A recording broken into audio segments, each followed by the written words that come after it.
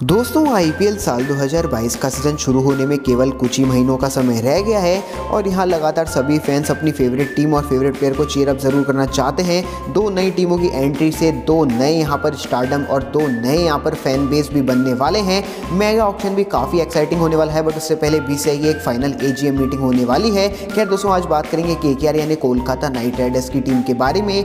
Team के की top updates आज मैं आप सभी के लिए लेकर आ गया हूँ, जहाँ दिन भर में जो भी अपडेट्स निकल के आई है। साथ ही साथ एक बहुत ही बड़ी बुरी खबर भी निकल के आई है। तो क्या है ये खबरें? सारी डिटेल्स में मैं आपको बताने वाला हूँ बट उससे पहले मैं आप सभी को बता दूँ, काफ़ी सारी स्पेशल चीज़ें और गिव अवे हमारे टेलीग्राम चैनल के ऊपर चल रहा है। तो लिंक नीचे डिस्क्रिप्शन में दिया हुआ है। अभी जाकर उसको ज्वाइन कर लेना। खैर, ये वीडियो हमेशा की तरह काफ़ी मज़ेदार, काफ़ी इंटरेस्टिंग होगी तो स्किप मत करना। लास्ट तक इस वीडियो को ज़रूर देखना। दोस्तों, अगर आप भी हैं आईपीएल के बड़े फ़ैन तो जल्दी से कर दीजिए हमारी वीडियो को लाइक इसके अलावा आईपीएल की लेटेस्ट न्यूज़ के साथ अप टू डेट रहने के लिए चैनल को ज़रूर सब्सक्राइब करें और बेल आइकन भी दबा दें। दोस्तों, कोलकाता नाइट राइडर्स की टीम आईपीएल साल 2021 की तरह ही आईपीएल साल 2022 के अंदर भी धमाका ज़रूर करना चाहेगा और जो भरोसा उनके फैंस का उसको बरकरार रखना चाहेगा।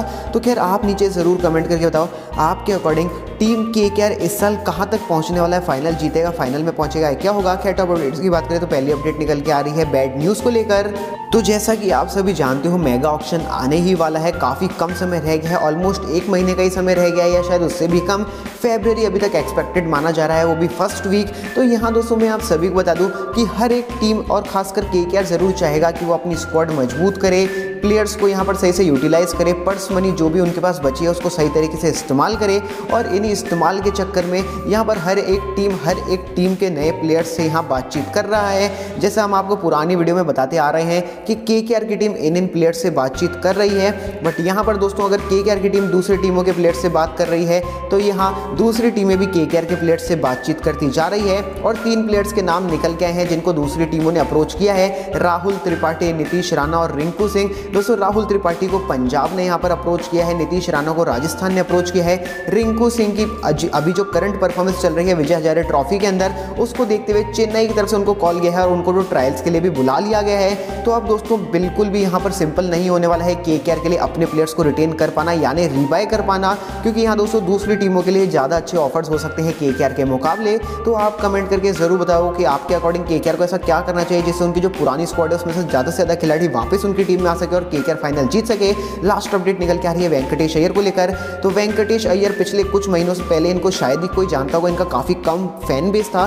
बट ये दोस्तों पिछले कुछ महीनों में तो सेलिब्रिटी बन गए हैं, एक यंगस्टर फेस एक फ़ेमस फेस बन गए हैं। और ये जो क्रिसमस आने वाला है, यानी ट्वेंटी दिसंबर तब इनका बर्थडे भी आने वाला है। और इसके एक खास, एक मोमेंट खास एक यहाँ पर जो के कैर इन्होंने स्टार्ट किया है, जहाँ उन्होंने बताया है कि आप हैश टैग आस्क वेंकटेश से यहाँ पर कोई भी सवाल पूछ सकते हो, चाहे वो इंस्टा पे हो, चाहे फेसबुक पर हो, चाहे ट्विटर पे हो, चाहे आप नीचे कमेंट करके भी पूछ सकते हो।